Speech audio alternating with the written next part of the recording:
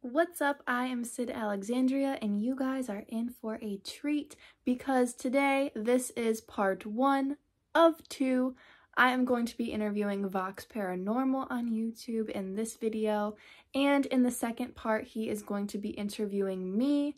He also has the other video up on his channel, so go check that out. His channel will be linked in the description of this video as well as the pinned comment, so go show him some love and let's hop right into it. What is it that you do, and can you address the misconception about demons? primarily, I would say I'm a ghost hunter, and that definitely involves demons. I would say the misconception is that all demons are evil when that's not true based on my experience.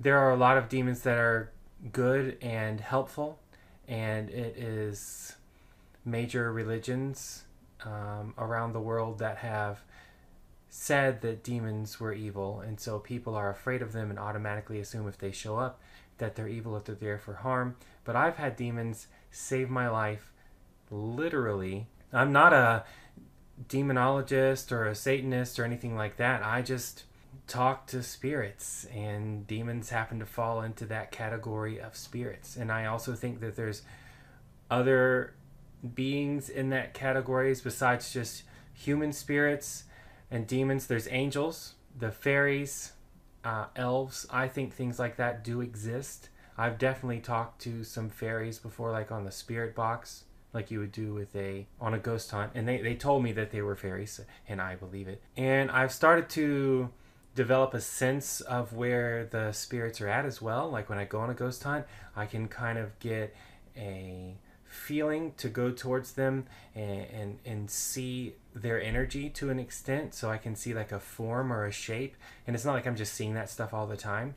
But when I choose to focus on it, I can see that, which is pretty handy for a ghost hunt. You go out somewhere and you're like, where are the spirits at? You don't have to spend all night looking for them. Uh, which I have done that well as well with the equipment. You follow the equipment around and you see what you find. But all, now I can kind of say, oh, I think nope, definitely there's something over there, and I walk towards that. Then I pull out the equipment and I get the readings, and, and then that's helpful for the video. But yeah, the misconception about demons is that they're all evil, and that is not accurate in my opinion. Wow. Just like how you were like, wow, that's a lot. that, that's a lot for me.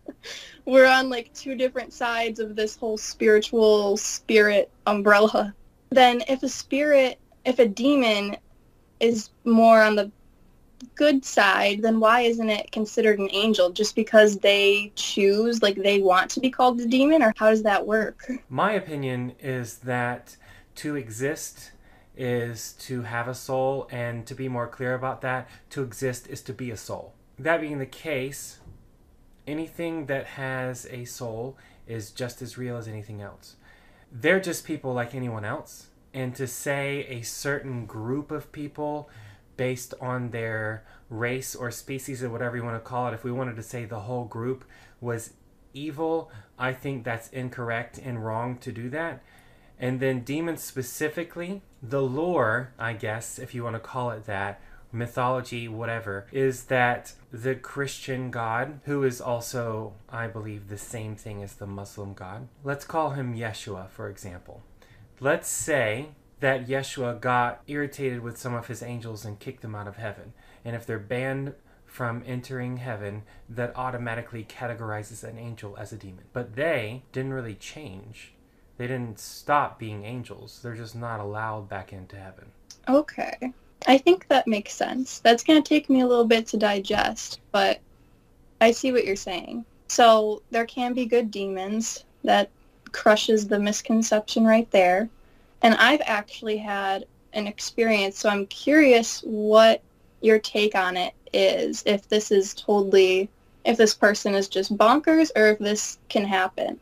So I have a friend who is a guy and he claims that he has this girl demon within him like they're sharing a body or something is that possible or have you common actually? Oh wow, okay. That's interesting. And he says that this, and I've talked to like the demon, but now I guess I've always believed because it just seems so real. I don't know how they could fake it because he will have experiences where he doesn't remember what happened and this demon has like taken him over and had conversations with me and then the messages aren't saved and then it's him and he doesn't remember. So these demons can actually and it's not a bad demon like she's super nice. So they can take people over and they the person like the human remember Yes. In my experience, that doesn't happen without a person inviting them in in some form or fashion. I don't consider demons or other beings, even humans or whatever else, to be generally malevolent, right? There are demons that are bad just the same as there are people that are bad. So I would say it is possible, most certainly, that a demon would force itself some way into a human who is in some sort of weakened state. But generally speaking, if the demon's in a person and they're not being violent, not hurting the person, anything like that, the person's okay with it, in all likelihood, the person invited them in in some way. Totally possible. Tell me what it's like when you're talking to this demon. Did they give you a name? And what do you mean that they were nice? What kind of things did they say? Yeah, she calls herself Raven. And this was like years ago that this happened when I was talking to her on a pretty regular basis she was just kind of giving me information about about what she knows as a demon and telling me things that will help um, the guy, the body that she was in. So she never did anything, you know, mean. She was just nice, just like a person. She explained it as she was always kind of in the background, like seeing through his eyes, experiencing life, but she had to be like silenced in this body and then she liked taking over and being in control when she could, so she did. Okay, that's super interesting. New experience. Explain some of the tools you use because you mentioned like and I've seen it on a couple TV shows, but I think this technology is fairly new where they can pick up spirits' voices. Mm-hmm. There's actually much older technology for picking up spirits' voices. So as far as technology goes, this is a spirit box. Very cool. And what it does is it scans through radio stations really quickly. It's an effort to prove that what you're hearing from the spirits is real. The reason that it scans through radio stations quickly, it scans through, it can scan through like 16 radio stations in a second.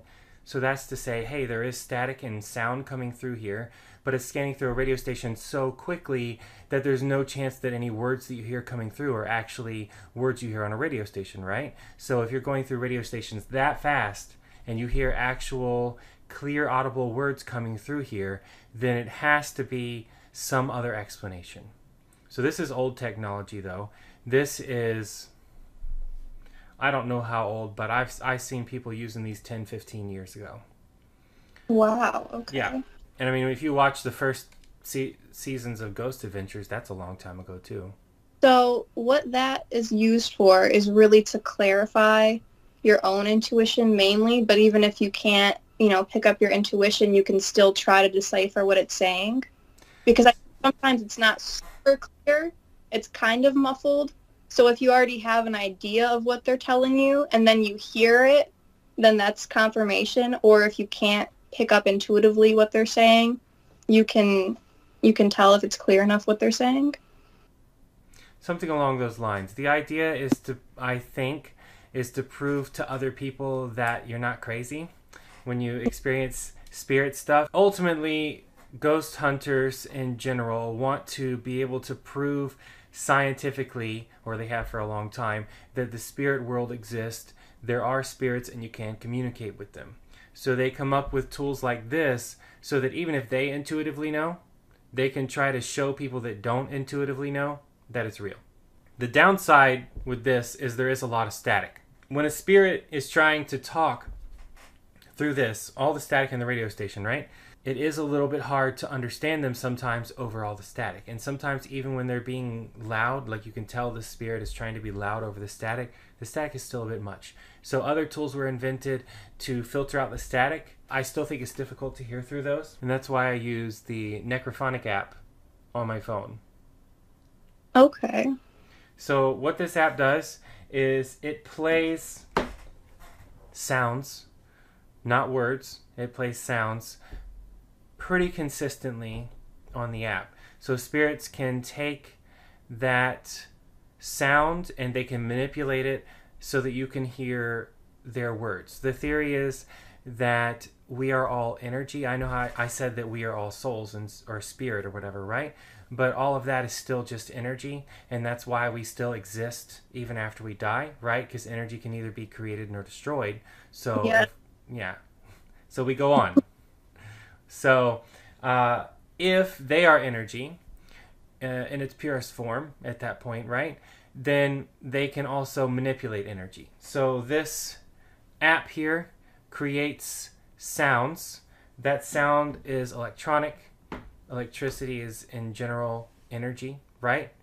So they can manipulate that. That's the theory. In my experience, it works. I know that the spirits are there. I've encountered them, I experienced them, I've heard them, and then I ask a question and I get direct answers that were properly related to my question.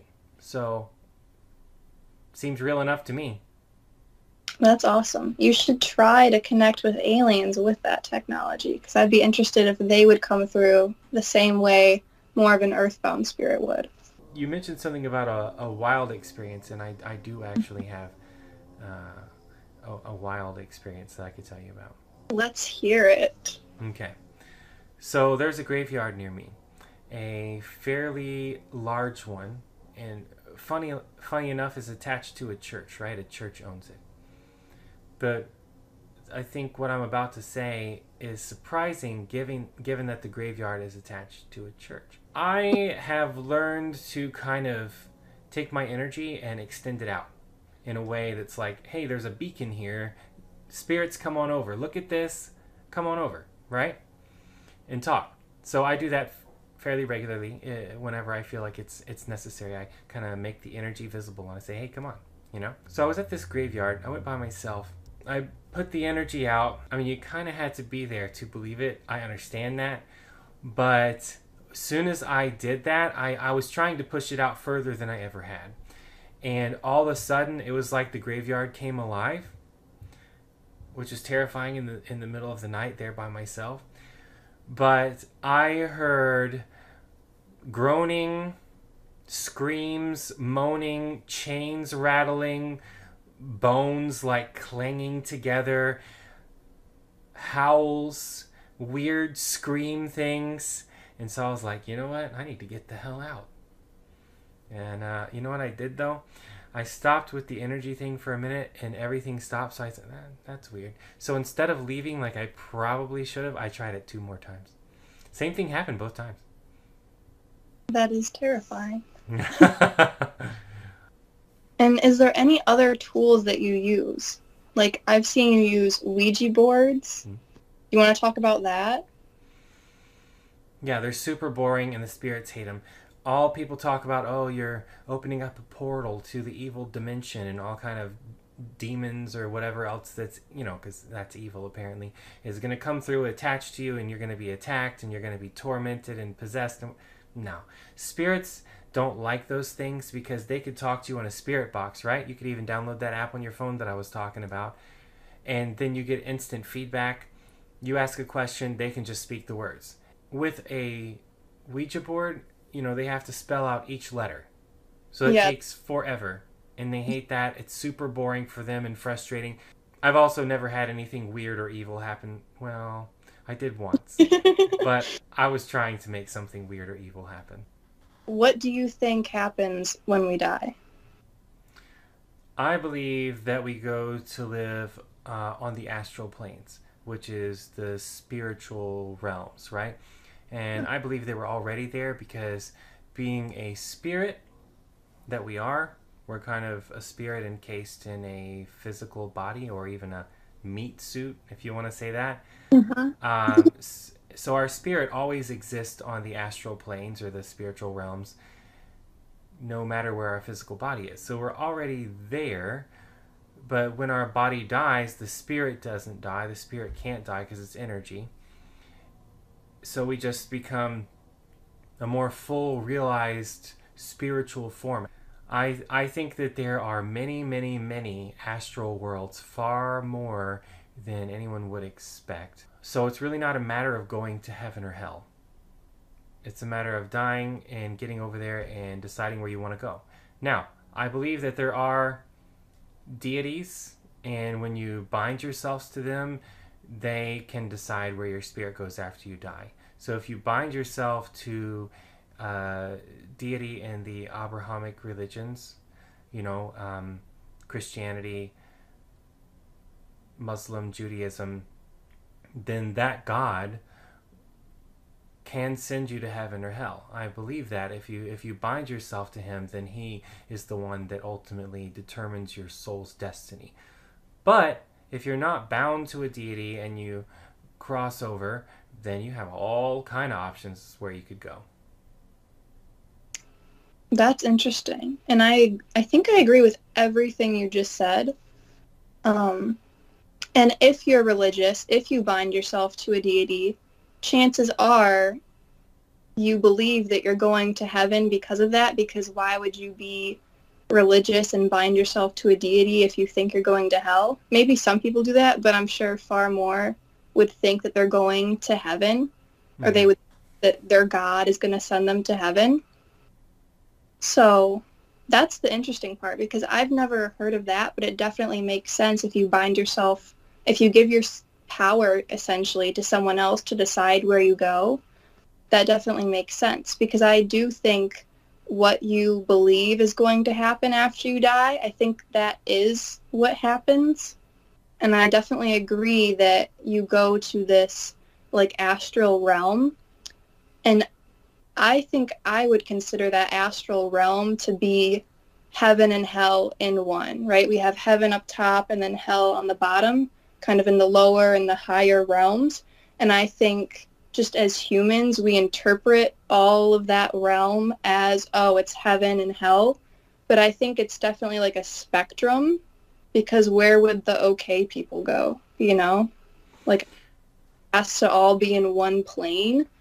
But then if you believe you're going to, you know, the pits of hell, then maybe you do go into like this separate bubble separate astral plane of the universe and it's just terrible. And maybe if you do think you go to heaven you go to this separate place and it's amazing. But then maybe the people who aren't sure or kind of believe in just going to this like astral waiting room i guess i would call it and i think a lot of people kind of refer to it as that if they believe in reincarnation because i believe in heaven and hell and reincarnation, which I think probably confuses a lot of people because they're not thinking of how they could coincide together. But I think everyone kind of goes to this astral waiting room, and it doesn't really matter which waiting room you're in, which if you're in heaven, hell, if you're in the middle, wherever. And then I think if you choose to take part of your energy because you're always you always have a sliver there. Like you said your astral body's already there.